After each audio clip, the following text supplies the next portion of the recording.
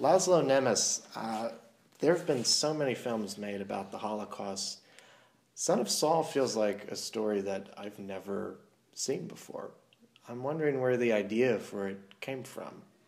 It came from text, it doc- written documents uh, by the members of a special squad called the Sonderkommando in Auschwitz, in the camp of Auschwitz.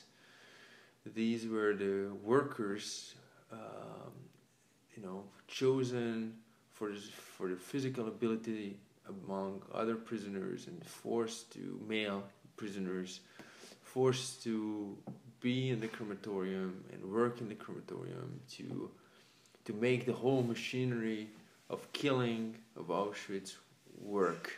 They were the factory workers in this factory of death.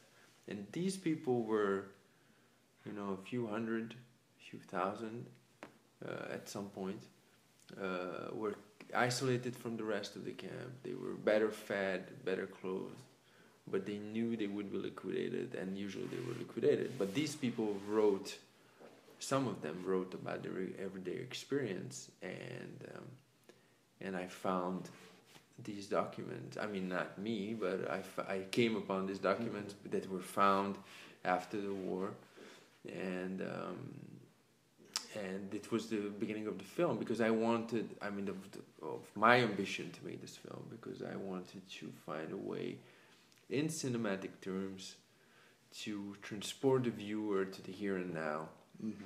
uh, as as much as I was transported to the here and now of the extermination when I was reading this text. Well, it certainly feels very, um, you know, even though the events of the movie are 70 years removed, uh, the style of the film really makes it feel like it's alive and in the here and now, you know. Yeah. Um, can you talk a bit about that? Um, it we wanted an immersive film. We wanted to have to have to be with the, with one character because one human being is the reference point that can be understood by another human mm-hmm. being who is the viewer. This he the our main character is the reference is the measure of everything that's going on around him, and we cannot represent the whole extermination because by frontally showing the camp and illustrating, you only reduce the scope of it. We it had Auschwitz cannot be, you know, shown. It can be hinted at, mm-hmm. and uh, and we wanted to show you know very little of it, uh, you know, through the the filter or the, or a mirror, the mirror of a human face, and it had to be one member of the Sonderkommando. Uh, that was my idea um, so that in, in a way we really rely on the viewer um, to recreate something of the infinity of the suffering and the infinity of evil that's taking place. Right. I mean, that's what's so remarkable about the movie is that it feels both very intimate because it is about this one person, and yet it says so much yeah. about the scope. Yeah. Yeah, absolutely. We ha- we that's why we came up with this uh, visual strategy yeah, I mean, I love all of those uh, unbroken takes in the film where the camera is just following this character around. Yeah. And you're seeing things as he's seeing yeah. them. Or rather, he's not. We don't see, but only right. feel things that he that he doesn't look at. Well, his. I mean, uh, his eyes are so reflective. Yes. Of so yeah. much. Yeah. Yeah. Um, yeah. Absolutely. It was important to immerse the viewer in the reality mm-hmm. and uh, and not you know disclose the entire reality, with only a very small fraction of it. Mm-hmm. The relationship uh, between him and this boy. You know, you, you, tell people that this is a film about uh, a man who takes a corpse to be his adoptive son, and you think, well, that just sounds completely macabre, but there's, you know, you watch the movie and there's a real nobility and a selflessness to what his mission is, you know, to give this boy a proper burial. Know, can you talk a bit about that? Uh, we did, we don't want to re- we didn't want to reveal too much about that because Of we, course we knew that it was the secret at the heart, eh, you know, within Saul's heart, the main character's heart. So we could only hint at it. Um, this is the story of the film, you know, the story of the, the journey of the viewer, uh, what the viewer has to make of this of this uh, story, you know, to, to decide whether it has any kind of importance at some point, if it's his son or not. Mm-hmm. Um, talking about you know just from a technical level, um, you know, you've got everything else going on. You've also got period that you have to deal with. Yeah.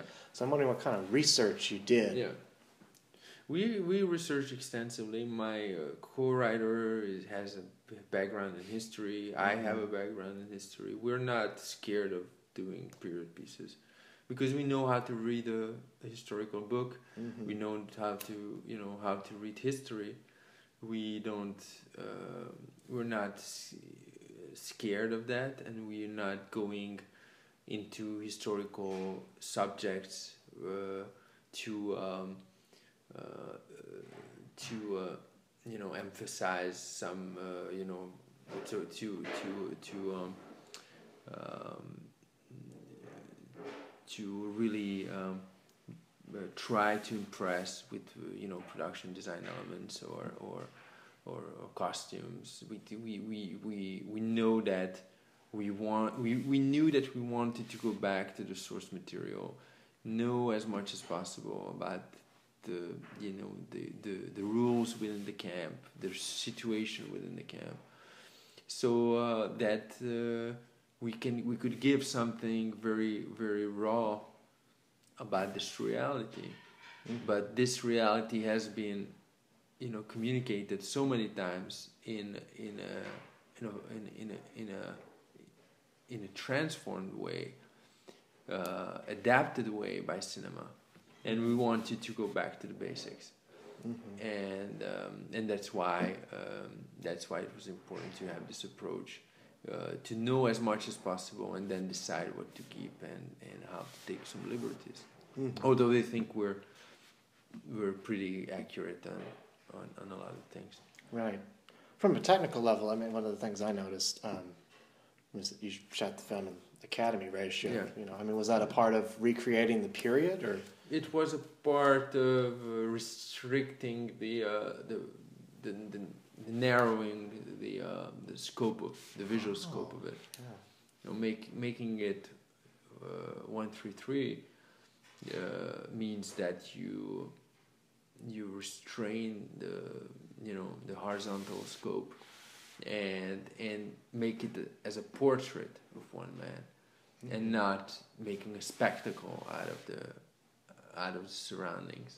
It's also we didn't want to make a spectacle out of out of the suffering and all the, of the of the camp. We were in the middle of it, and and it's here and now, so it has to be very realistic. hmm That's interesting. Um, talk a bit about uh, working with Geza, because I mean, so much of it is. I mean, it's all from his perspective, and Yeah. there's a lot that is left unsaid. You Yeah, know. yeah. Um, but like in life, you know, as as much as in life, or or or in in a concentration camp, you know, Mhm. people don't have to talk. Right. Uh, so I'm wondering, like, how you as a director worked with him to, you know, bring out those uh, those moments of silence and to help, you know, convey, you know, what he's thinking or, you know, we, we wanted to keep our actors from projecting their 2014 or 15 emotion onto their characters. This sort of post-war interpretation and emotion. Uh, so we had to keep them in a very in a very low key. I I had to I had to you know really work with them on that. So um, they they try to you know invent a code of uh, within this trauma world how you know the scope of, of emotions that that we, we could use and it wasn't a big scope because we were in a traumatized uh, you know context So uh, Geza was uh, he had a very intimate understanding, immediate understanding, instinctive understanding of this. So we he, he I just had to you know say a few words and he understood immediately. Mm-hmm. There's no moment of lightness or relief in this film, really. Um, I'm wondering, like, was it difficult going to that place every single Why? day? I, I don't think there's or- lightness, but there's hope. Right. And this hope is different. You know, like you know, relief gives relief, but hope gives something else. You know, Mhm. and this is the question of the film: Is there some kind of hope possible even in this dark, darkest world? Mhm. and um, uh, so it was difficult to go there, and it was difficult for everybody. But I think we had a sense of mission, Mhm. and uh, well, for me it was different, difficult, and uh, but you know I had to battle, you know, and and uh, I had to be there, and I, uh, you know, it was a it was a tough ride, I guess, but I had Mhm. to do it. Well, add to that the fact that I mean, this is one of your first movies, if I'm Yeah, not It's mistaken. my first movie, Yeah. So I mean, my first feature. yeah. Uh, you know, what was what was that like on top of all of it? You know. It was uh, dancing on the uh, on the edge of the abyss, you know. Mm-hmm. So um, so that's what happened, you know. Every every day it was dancing there, you know, and really close to the to the precipice. So Mhm. we we were uh, every I was scared, but I had to overcome it, I guess. Right. I want to go back to the, uh, you know, you mentioned hope, and I think that's what's so powerful about the film. You know, here's this character who is you know, has to do all of these awful things, and yet takes on this noble task. And there's no happy ending in the Yeah. film, and yet, you know, there is that feeling of hope for humanity. You know, yeah, absolutely. Yeah. Absolutely, that's the that's at the heart of the film. You know how when there's no more God and religion and hope, is there still um, the possibility of a human voice within that a voice that would allow us to remain uh, to remain human? You know, and it's sort of inner God that could exist. That's the question of the film, and and that the, the, the journey of the viewer is also to uh, to discover uh, whether it makes sense for him or her to um, to um, this this question. You know, hmm Were there any scenes that gave you a particular amount of difficulty in the filming? I mean, there's a lot of, you know, even though it is so intimate, you have a lot of sequences like the uh, the uprising of the camp towards the end of the film that are really technically difficult. So I'm wondering if there was anything that. we don't we won't do much spoiling. No, no, no. um, but you know, a lot of handling of extras. Yeah, and, yeah. It was a very difficult preparation, but it we had to prepare. Mhm. I had a director friend who was hired to, ins- you know, to take care of background actors. So everybody was directed by a director in this film, which is good because Mhm. Uh, because the the context was so important, the camp was so important. So we had to we had to be um, very well prepared because we had only had 28 days of shoot. Wow. So that was uh, that was you know every day was a different challenge, but uh, but somehow you know we made it happen. What do you hope viewers take away from this film?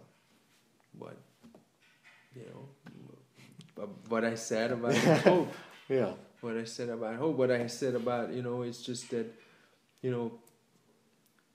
Uh, uh, genocide is a constant possibility within within civilization. It's really the issue of, you know, the evil within civilization, self-destructive nature, and if we don't interrogate that, if we don't, um, we are not aware of that, um then it might be, you know, we we- we're heading towards disaster. Well, thank you so much. Thank you.